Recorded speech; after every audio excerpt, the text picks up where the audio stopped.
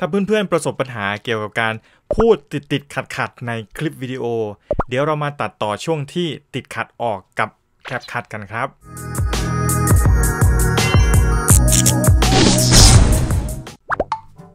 สวัสดีครับเพื่อนๆ พบกับผมอีกแล้วครับ กับนายต่อยักษ์ในช่อง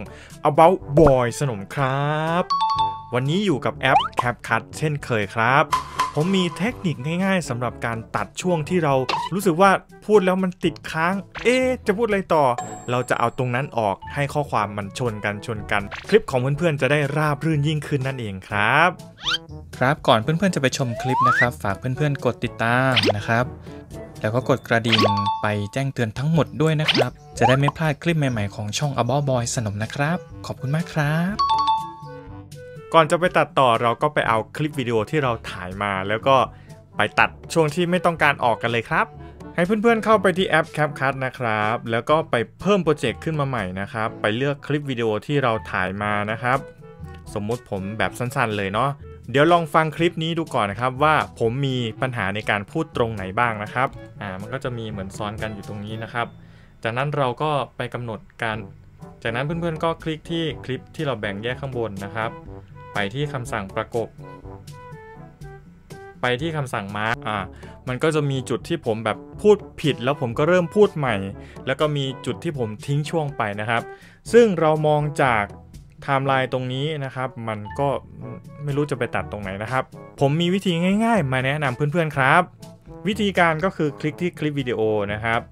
ด้านล่างนะครับ เพื่อนๆเลื่อนหาคำว่าแยกเสียง อ่าเราก็จะมีเสียงอยู่ด้านล่างให้เห็นเลยใช่ไหมครับ ส่วนที่เป็นเส้นตรงยาวๆ ลักษณะแบบนี้คือส่วนที่ไม่มีเสียงพูดนะครับ อาจจะเป็นกำลังพูดแบบ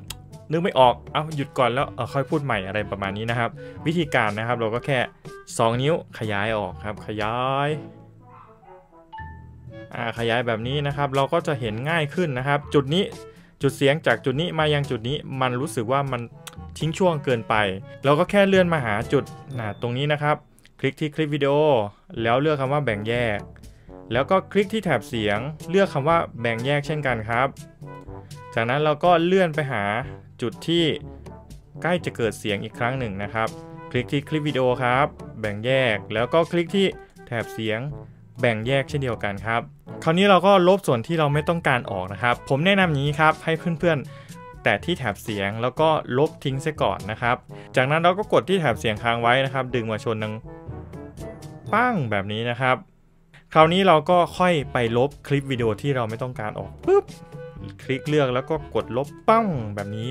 นั่นเองนะครับ ลองฟังเสียงดูนะครับ กันอยู่ตรงนี้นะครับ จากนั้นเราก็อ่ามันก็จะต่อเนื่องยิ่งขึ้นไปนั่นเองนะครับ เราก็ใช้ 2 นิ้วนะครับในการย่อขยายตามที่เพื่อนๆต้องการนะครับ มีจุดที่มีปัญหาอีก 1 จุดนะครับ ในคลิปนี้ก็คือจุดนี้นะครับมันทิ้งช่วงค่อนข้างเยอะนะครับ เราก็แค่คลิกที่คลิปเหมือนเดิมนะครับ แล้วก็แบ่งแยก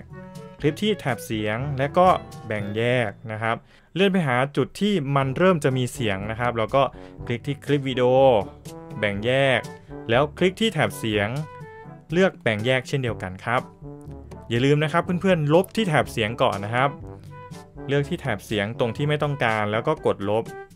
แล้วก็กดค้างแถบเสียง ข้างหลังดึงมาครับฟิบปึ้งนะครับ จากนั้นเราก็ไปคลิกที่คลิปวิดีโอ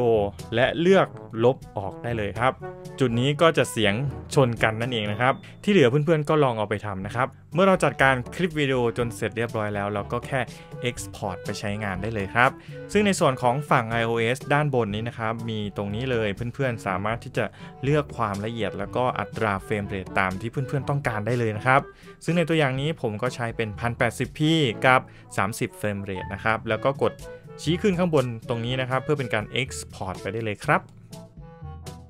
เท่านี้ก็เรียบร้อยแล้วนะครับ เพื่อนๆก็กดเสร็จสิ้น แล้วก็เอาคลิปวิดีโอไปใช้งานได้เลยนั่นเองครับเป็นยังไงบ้างครับสำหรับเทคนิคง่ายๆสำหรับการตัดส่วนที่เราไม่ต้องการออกจากคลิปวิดีโอนะครับ โดยที่ไม่ต้องกะเลยว่าตรงไหนพูดตรงไหนไม่พูดนะครับ เราก็แค่แยกเสียงออกมา แล้วก็ตัดให้มันตรงกันเท่านั้นเองครับ หวังว่าคลิปวิดีโอนี้จะเป็นประโยชน์กับเพื่อนๆนะครับ ถ้าเพื่อนๆชอบก็อย่าลืมกดไลค์ กดแชร์ แล้วก็คอมเมนต์มาร่วมพูดคุยกับผมได้เสมอครับ และที่สำคัญเลยนะครับ ถ้าเพื่อนๆไม่อยากพลาดเกี่ยวกับการตัดต่อคลิปวิดีโอง่ายๆด้วยมือถือแบบนี้นะครับ ก็อย่าลืมกดติดตามและกดกระดิ่งให้ช่อง About Boy สนมด้วยนะครับ เพื่อที่จะไม่ได้พลาดทุกการแจ้งเตือนของ YouTube นั่นเองครับ แล้วเจอกันใหม่ในคลิปหน้าครับ บ๊ายบายครับ มีคลิปแนะนำให้เพื่อนๆกดดูได้นะครับ